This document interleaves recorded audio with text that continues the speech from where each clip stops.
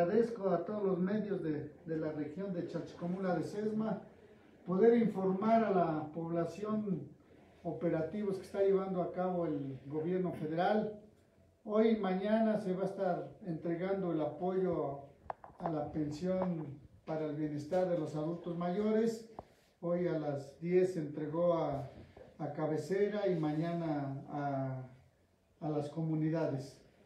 También hoy estamos entregando y dando la bienvenida a nuevos beneficiarios de, este programa Adultos Mayores. Ahorita vamos a entregar alrededor de 150 tarjetas a nuevos beneficiarios. Estamos aquí en el, en el Deportivo Santos Reyes y mañana de la misma forma. Eh, vamos a entregar igual otro número semejante a nuevos beneficiarios de los que se han adherido a este programa, principalmente a personas de 65, 66 y 67 años. Eh, también se ha concluido ya la entrega a las personas que lo reciben por medio de órdenes de pago Telecom. Algunas todavía están acudiendo a los Telecom para recibir este apoyo. Y a las personas que lo reciben con tarjeta también ya está eh, disponible su apoyo. No sé si hay alguna pregunta con respecto al programa de adultos mayores. ¿Cuál es el avance, delegado, que va de este programa de adultos mayores eh, por lo que respecta al primer operativo del año? Eh, vamos a la mitad exactamente, pero llevamos ya como un 60-70% de avance. Estamos haciendo las tres acciones, tres acciones. Primero la entrega de apoyo, entregando tarjetas a nuevos beneficiarios y también alrededor de 20 mil planillas eh, de hologramas a los beneficiarios que lo vienen recibiendo en esa modalidad. Si es un buen número, tres acciones, además de las otras acciones de, de pago con, con, este, con tarjeta tele, con Telecom y pago con tarjeta. Eh, sobre órdenes de pago eh, de San Salvador el Seco preguntan si ya eh, fueron, si hay fecha para la, la, entrega o ya se entregaron. Bueno, ya, ya entregamos el apoyo, ya concluimos también tarjetas. Lo que nos faltaba era entregar las órdenes de pago Telecom. Apenas nos las este, proporcionaron en las oficinas estatales el fin de semana y en esta semana vamos a, a distribuir en todos los municipios. Hay personas que se inscribieron desde el mes de junio, julio y no han salido todavía. ¿Qué pasa? Eh, son muy pocas, este, sí, ya que acudan al centro integrador para revisar a fondo. Eh, yo les había comentado que el programa determinó que las personas que se habían adherido al programa hasta antes de octubre ya recibieron el apoyo desde el año pasado. Hay muy pocos, había que checar ya esos casos especiales. A veces hay problemas con la documentación requerida, pero ya debiera de haber llegado su apoyo. Sí, los que apenas se inscribieron, como fue el caso de la cabecera, que fue apenas el 6 de enero, pues sí tendremos que esperar más. Pero los demás ya ahorita, incluso los que estamos entregando ahorita de las nuevas tarjetas, todos ya son de, de octubre, noviembre. Ok. Bueno. Eh, otro programa importante y que ya estamos próximos es la vacunación. Eh, en la semana, bueno, el fin de semana la Secretaría de Salud del Estado de Puebla emitió la convocatoria y se va a estar aplicando del miércoles, de mar, no, es martes, miércoles y jueves de esta semana. Eh, AstraZeneca en refuerzo, se les va a dar oportunidad nuevamente a los rezagados porque ya aplicamos 60, pero también se va a aplicar a 40-49 y 50-59. Eh, más los segunda dosis que haya rezagados también en AstraZeneca de 18 años y más.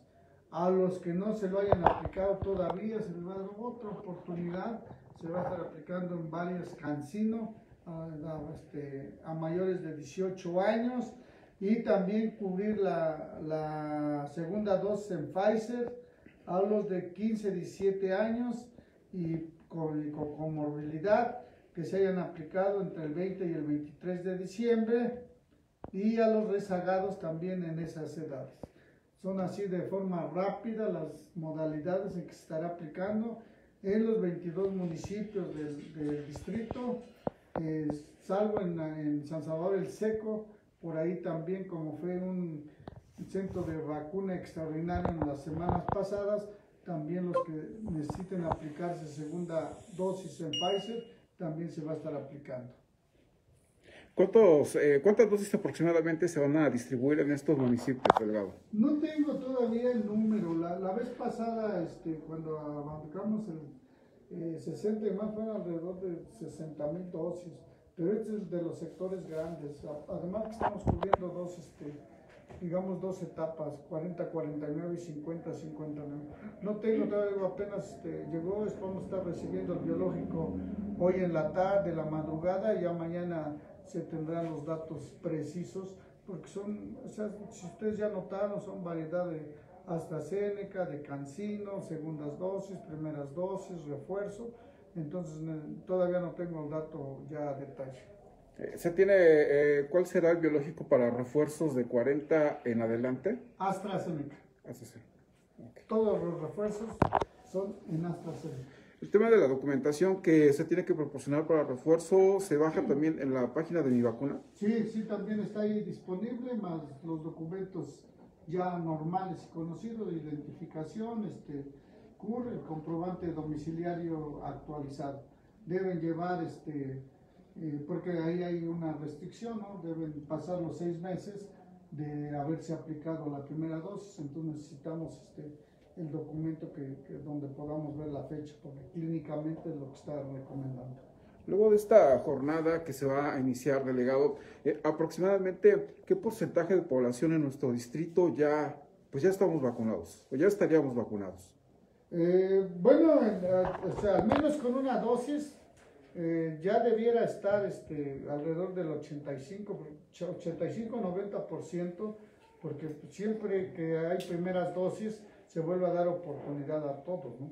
Entonces sí ha ido aumentando, yo les comentaba, la, en las primeras dosis llegábamos alrededor de 65, algunos municipios al 70%, pero iba incrementando al menos otro 5%, 10%, eh, ya con esto. Y ahorita que se ha incrementado pues los casos de, de COVID, sí acuden mucho más personas. Pero aún así se le está dando otra vez oportunidad en primera dosis a todas las personas. ¿Cuántas variantes? Sector, este, delegado, otro sector importante que empieza con, con, movilidad, con, movilidad, es de 12 a 14 años. Quiere decir que ya próximamente ya podría ser eh, ampliado también para la población en general de esta edad. No hay todavía, este, todavía alguna información al respecto. Yo creo que ahorita va a ir bajando, este, bueno, primero la, el refuerzo, ¿no? Ya se abarcó 15, 17, 18 y hasta ahorita para niños solo solo con comorbilidad este, están dispuestas las vacunas. Esperemos ¿no? que siga avanzando, pero bueno, ya los sectores más vulnerables pues ya debieran tener pues aplicada todas sus dos dosis y ya vamos con el refuerzo, ¿no? Con la variante Omicron ha incrementado el número de personas que acuden ya a vacunarse, delegado, con todo lo que se ha informado en los últimos meses. Sí, sí, sí, de, en automático, ¿no? Porque bueno, en el momento que nuevamente este, acuden personas, aunque no muy alto el número de primera dosis, es que se va cubriendo esas personas que en algún momento no se vacunaron, ¿no? Y además en el entendido y es un llamado a la población que un, un 85% de los casos graves en esta nueva variante, variante son de personas que no se aplicaron ninguna vacuna, ¿no? Espero eso sirva de aliciente para que pues todos acudan a, a, vacunarse. Y en el caso de los adultos mayores que como tal aún no cumplen el lapso para poder vacunarse, que son los seis meses, posteriormente va a haber otra campaña en la cual se puedan vacunar. Sí, sí, sí, de, de, yo creo que para todos, ¿no? Este, como es, fue la primera, el primer sector que se vacunó de 60, pues ya van cumpliendo la mayoría los seis meses. Además de que está pues, eh, especificado clínicamente, o sea, no es nada más de que digamos cuatro o cinco o las fechas, sino clínicamente lo recomendable, ¿no? Van avanzando, van haciendo estudios, ¿no? Todas las farmacéuticas, estos siguen, siguen haciendo las pruebas, ¿no? Pero ahorita en este momento es lo recomendable. Y yo creo que sí se van a ir buscando los esquemas para seguir atendiendo. Lo mismo nos preguntaban los que no se la aplicaron. Y bueno, cada vez que hay oportunidad se les da la oportunidad a todos. ¿no? Hay personas que dicen que están con un poco de gripe. ¿Se pueden vacunar, señor? No, no, ya es un hecho que no, que este, con síntomas de, de enfermedades respiratorias no acudan o los que van convaleciendo de COVID, unas tres semanas o influenza, nada, ¿no? que pasen las tres semanas, no es recomendable clínicamente. Eh, después de que se recuperen y si hay una jornada de vacunación, se pueden ir a aplicar la- el refuerzo. Sí, sí pueden aplicar el refuerzo, como, como ven ustedes, ahorita vamos a abarcar 40, 49, 50, 59 y todos los rezagados en refuerzo. O sea, ambas, ¿no? En refuerzo y en, y en primera dosis, ¿no? Re- realmente se le está dando la oportunidad a todos, ¿no? También ha habido personas que desafortunadamente no creían en vacunarse o nunca se han vacunado. ¿Se ha visto presencia de las mismas? Sí, porque les digo que se les da oportunidad en primera dosis a los que no se han vacunado y se acuden. O sea que si hay algunos de los que estaban renuentes o por algún motivo no aplicarse, sí acuden. Muy bajo, ¿no? Ya no un porcentaje altísimo. Además ya no hay, ¿no? Por otra parte, delegado, eh, bueno, ya hablando de temas del campo, eh, ¿para cuándo se tiene contemplado ya la dispersión de recursos? Algunos productores ya están por iniciar con el tema laboral en, en sus tierras. Eh, bueno, aprovecho, aprovecho también ya pasando ese tema de los apoyos al campo. Ahora a través de la, este año agrícola o este ciclo agrícola, eh, la Secretaría del Bienestar va a hacer la verificación de todos los beneficiarios de producción para el bienestar. En próximos días estaremos verificando la existencia del productor con sus documentos básicos y lo vamos a hacer a través de la Secretaría del Bienestar en una primera etapa, en una segunda etapa. Eh, esto nos vamos a llevar no máximo de 10 días para que la siguiente etapa sea la verificación en campo de las parcelas y muy pronto se esté entregando o lo más pronto porque si no se ha podido eh, Nos preguntan sobre las becas Benito Juárez. Eh, todavía no tenemos programación, han estado muy insistentes. Algunos, algunas becas Benito Juárez eh, se revisan semestralmente la depuración de los padrones, de los egresados y, de los que ingresan, entonces en eso nos llevamos un poco. No tenemos hasta la fecha programación para la entrega de apoyo Benito Juárez. Nosotros les estaremos avisando, por lo regular primero se cubren los sectores más vulnerables, una vez terminando, bueno, se va abordando este, los demás programas. Gracias. Gracias, gracias.